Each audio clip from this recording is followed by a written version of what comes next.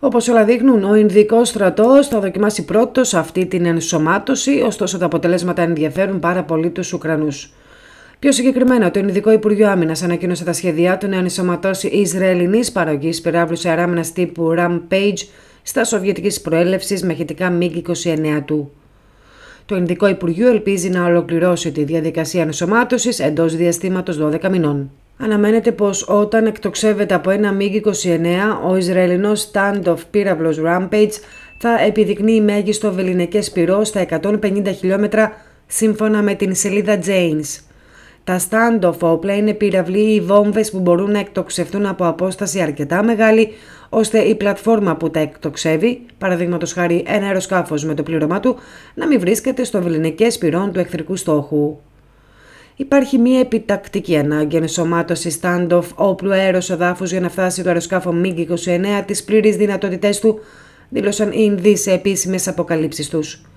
Η ενσωμάτωση του πυράβλου θα απαιτούσε ουσιαστικά τον σχεδιασμό και την ανάπτυξη ενός κατάλληλου εκτοξευτή, την ηλεκτρομηχανική διασύνδεση με το αεροσκάφος και τις απαραίτητες πιστοποιήσεις και δοκιμές από τους σχετικούς φορείς, πρόσθεσε το Υπουργείο Άμυνας της Ινδίας.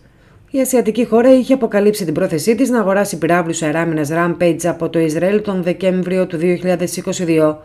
Μέχρι το τέλος του φετινού Αυγούστου είχαν εμφανιστεί και οι πρώτες φωτογραφίες που επιβεβαίωναν την έναρξη των παραδόσεων πυράβλου Rampage στις Ινδικές ένοπλες δυνάμεις.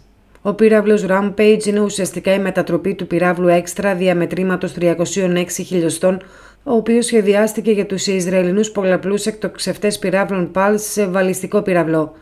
Η μετατροπή αυτή κατέληξε σε ένα όπλο εναέρειας εκτόξευσης την οποία ανέλαβαν οι Ισραηλινές εταιρείες Israel Airspace Industries και Elbit Systems.